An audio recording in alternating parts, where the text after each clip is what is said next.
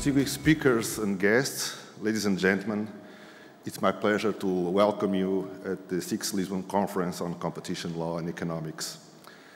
This is a unique opportunity to discuss some of the most important topics that impact competition policy today with renewed experts that joined us from all over the world. Lisbon is an inspiring, beautiful, and historical city which has been an international meeting point over the centuries.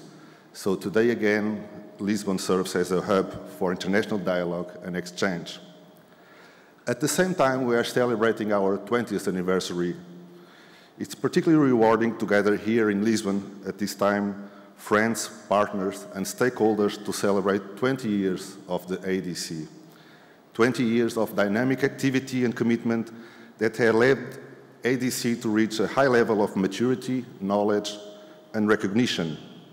In fact, as many of you know, just recently the GCR ranked the ADC as one of the best eight agencies worldwide. And more importantly, we are celebrating 20 years of impact on society by promoting choice, opportunities, innovation, and growth. 20 years of work to the benefit of consumers, firms, and the economy at large. So at this special moment, allow me to address a special word of gratitude to the President of the General Court of the European Union, who traveled to Lisbon specifically to this conference.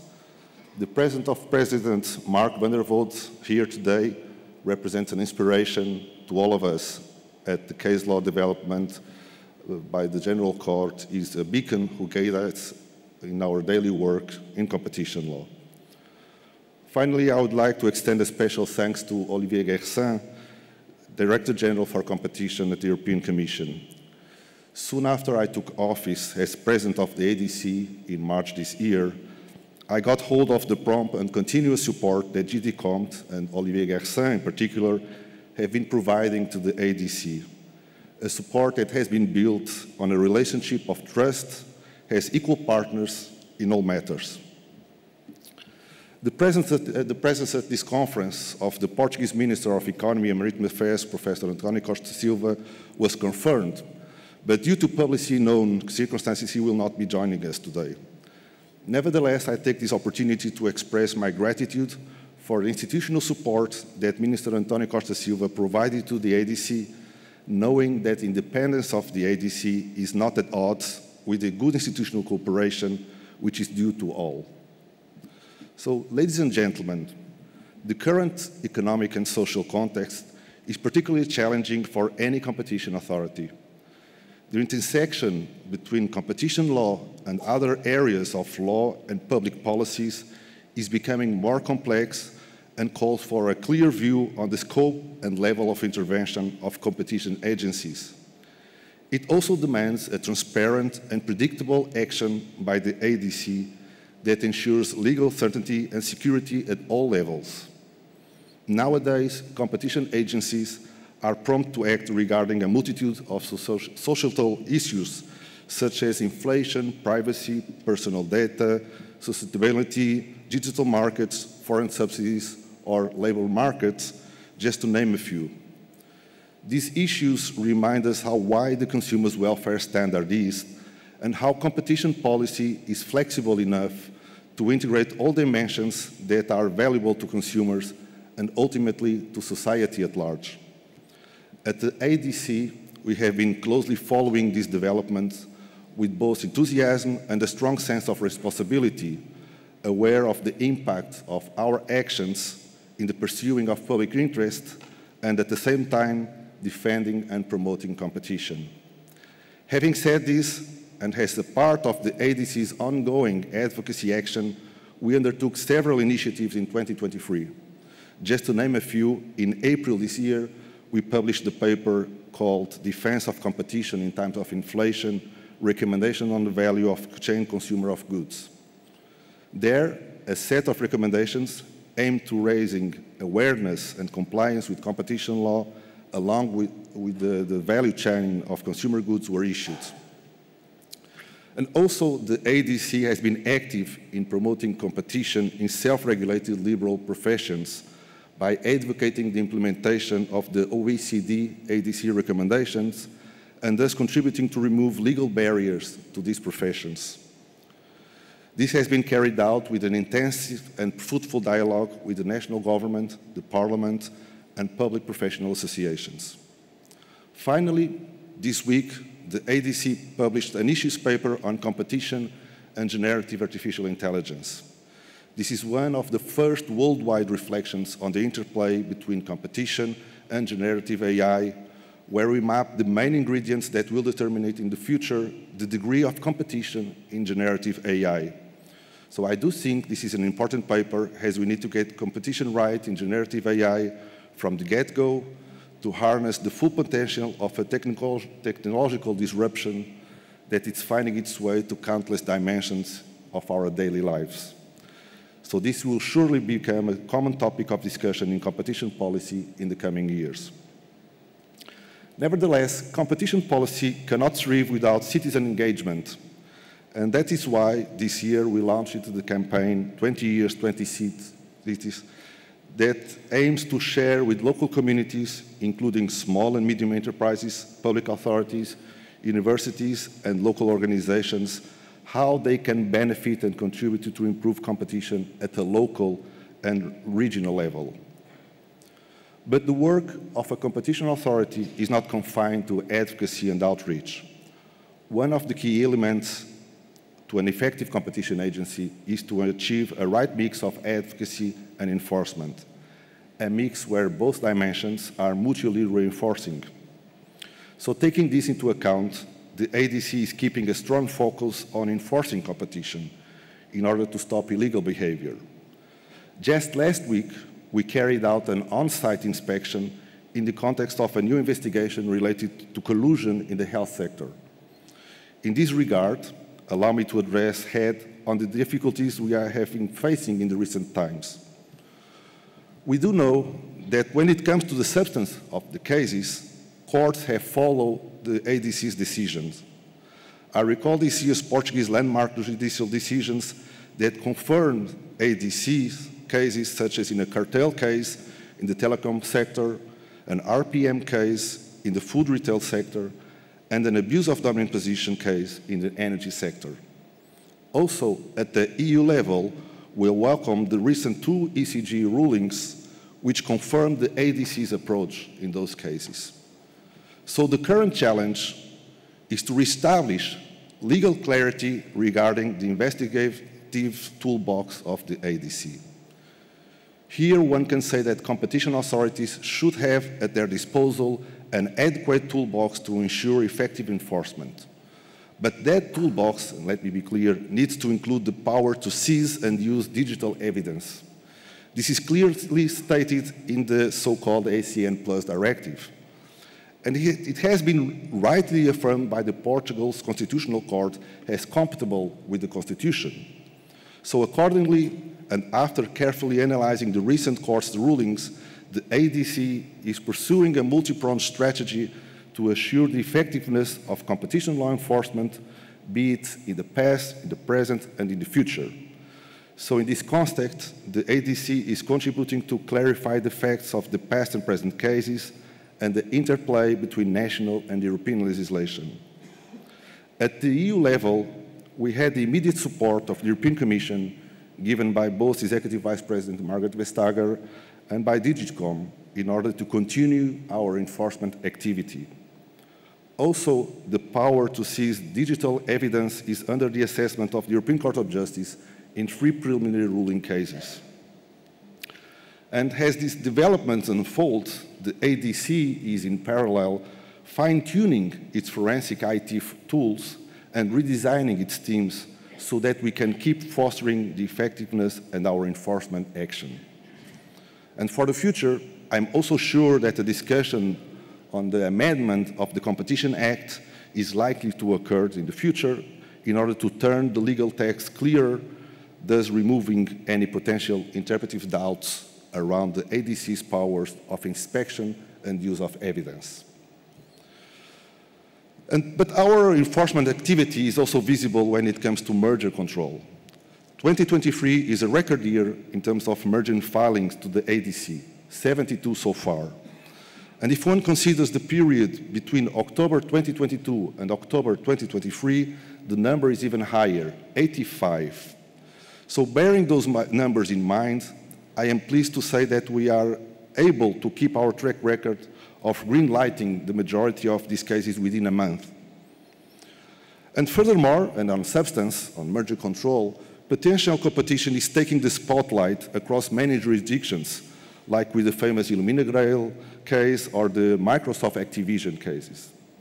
And the ADC is no different on that regard. I must say that sometimes the competitive discipline by a target firm is more than meets the eyes. And at the same time, when it comes to international cooperation, we will continue to take part in the most important international networks and forums. Among others, I'm thinking of the ICN, where the ADC holds a position at the steering group, also at the European Competition Network, bringing together the European Commission and national competition authorities, at the OECD, where we witness its dedicated effort to share expertise and best practices, and here allow me a word of special thanks to Professor Frederic Jenny and to Antonio Ferreira Gomes for uh, being here today. And also the UNCTAD, where the ADC has been keeping a long-standing participation. And that has played an essential role, UNCTAD, in supporting the development of competition agencies in Portuguese-speaking countries, whose presence here I also welcome. And in this regard, allow me to pay a special tribute to Teresa Moreira, whose work at UNCTAD has reaffirmed Portugal's leading role in the context of international organizations. Ladies and gentlemen, I, I, have mentioned some of the challenges that the ADC has for the future, which I have no doubt will be overcome. In fact, I've been witnessing how extraordinary the ADC team is. Moreover, I am pleased to have two friends on the board of directors, Ana Sofia Rodrigues and Miguel Mori Silva. So for these reasons, I look forward for the coming two days conference. I'm sure that with all the team that we have at ADC and for the knowledge that this conference will bring, the future of ADC will be brighter and ADC will remain at the forefront of the world's competition agencies for the next 20 years. So during these two days, we'll be discussing some of the most important trends in competition law namely related to artificial intelligence, merger controls, cartels, the DMA, and exclusionary abuses. To guide us through these topics, we will hear from our excellent lineup of speakers, to whom I'm grateful for their availability to participate.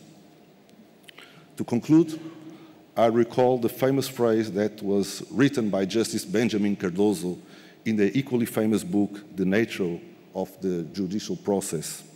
He said, and I quote, the ultimate cause of the law is the welfare of society. So inspired by that sentence and looking at this magnificent audience, I can say that the ultimate case of this conference is the welfare of society. So I do hope you enjoy your conference and thank you all for being here today.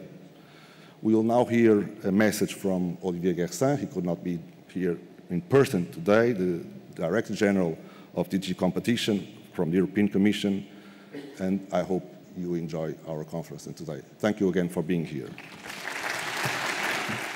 Thank you for your kind invitation to address this conference, and thank you to my friend Nuno in particular. It's really a shame I couldn't travel to Portugal, especially as you are celebrating the 20th anniversary of the Portuguese Competition Authority. But I'm really glad that digital tools allow me to still be part of this event. Indeed, the digital transformation has improved our lives in so many ways. We communicate more easily, we shop more conveniently, and we enjoy new digital entertainment services. However, large online platforms also pose new challenges, and in the last years, there has been a consensus on the need for action to address these challenges. This consensus is the reason why the process leading to the adoption of the Digital Markets Act, including the negotiations with the co-legislators, went so smoothly. In early September, we designated six gatekeepers for 22 core platform services.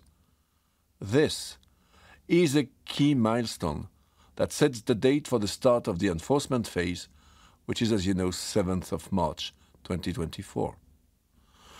By that day, the designated gatekeepers will need to comply with the Digital Markets Act.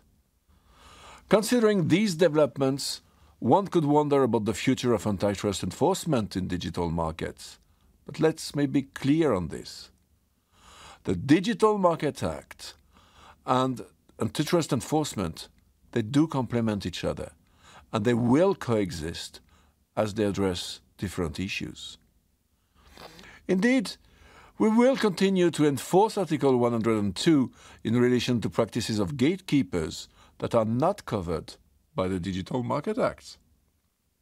And in relation to dominant companies that either do not qualify as gatekeepers or do not provide core platform services.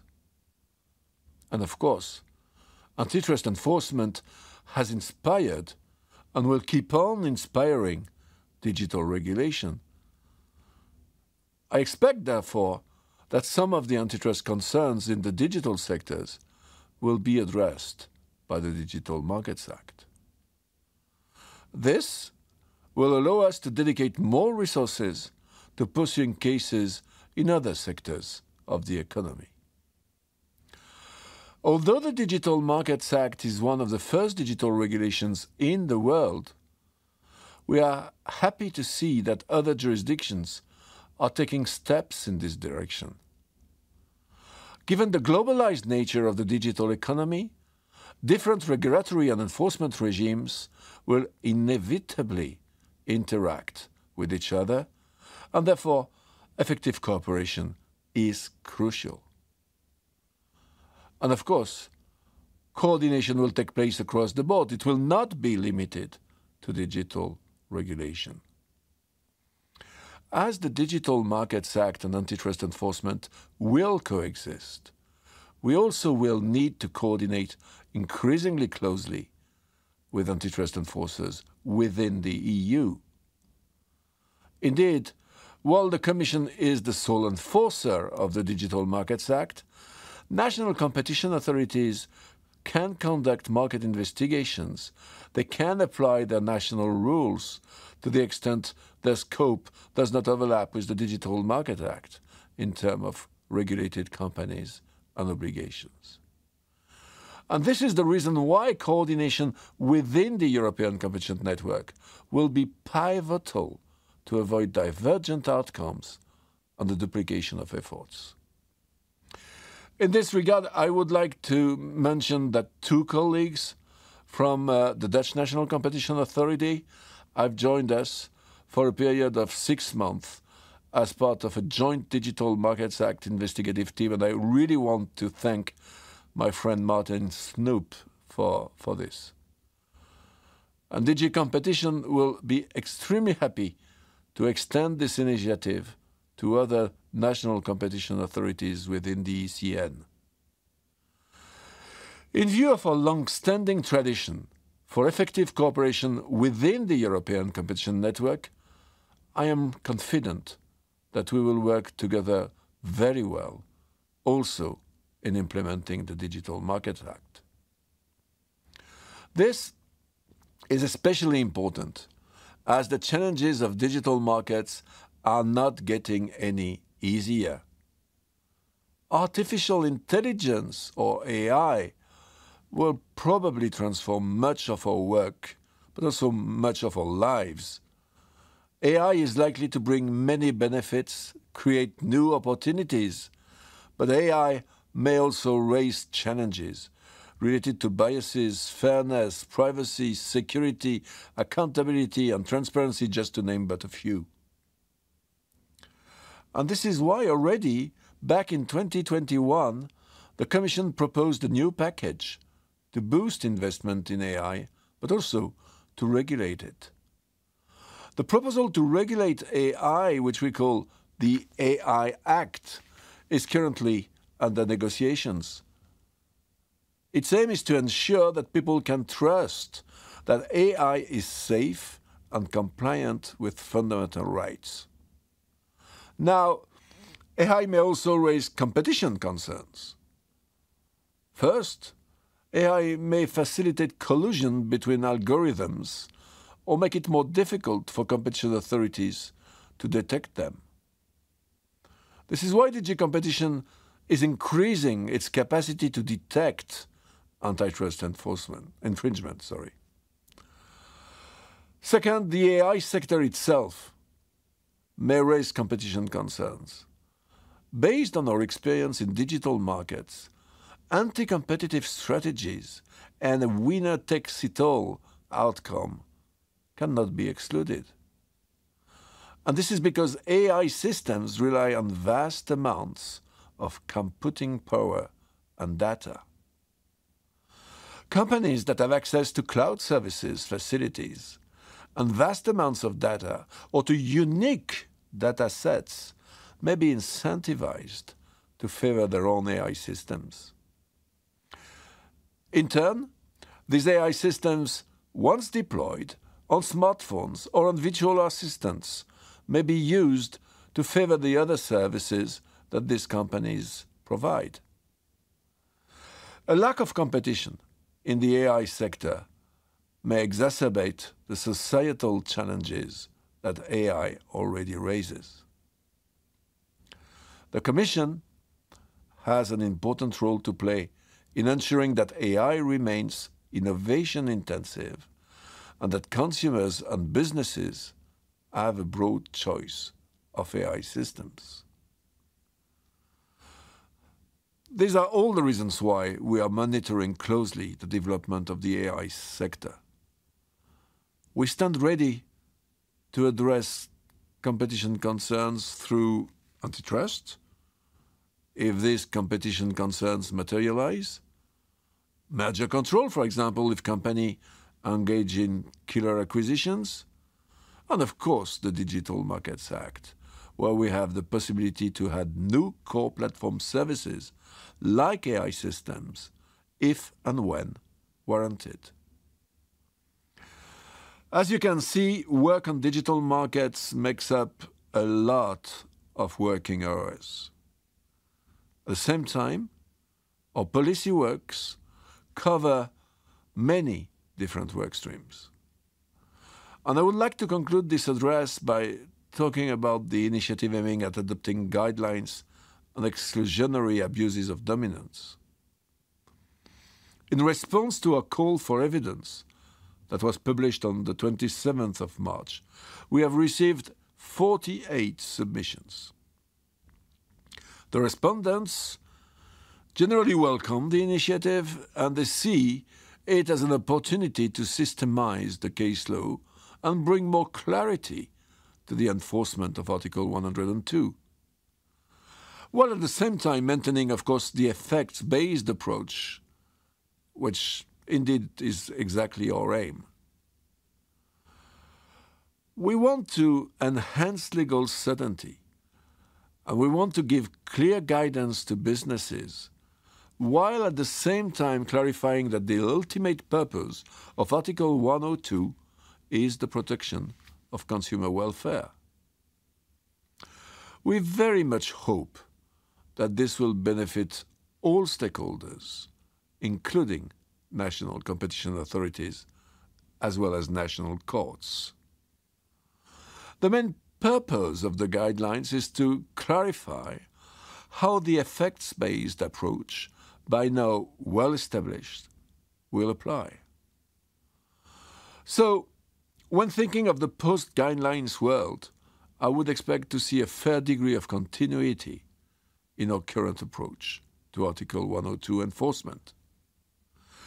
We will continue to run cases based on effects, and we will rely on the insights and assistance of economic analysis if and where appropriate. Economics definitely play a role in our competition law assessment and can assist in the identification of sound theories of harm. This said, economic analysis is only a part of an overall assessment of all the relevant facts and circumstances. It also needs to remain within the boundaries of a workable standard and not be treated as a scientific proof of the existence or the absence of anti-competitive effects. We plan to publish a draft of the guidelines by mid-2024, and in the meantime, we will continue our consultations with the stakeholders. In particular, our exchanges within the European Competition Network have already provided valuable input. With the wide experience collected on the enforcement of Article 102 and the equivalent national provisions by the NCAs in all member states, we believe that this dialogue will enrich the text of the guidelines.